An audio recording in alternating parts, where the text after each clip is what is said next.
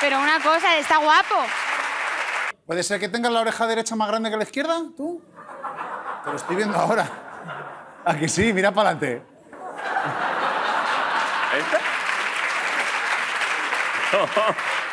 Oye, aquí body shaming no, ¿eh? Las tengo igual que dices tú, ¿Cómo hombre. la vas a tener igual, cabrón? Si tiene... Parece una oreja de un niño de tres años y la otra de...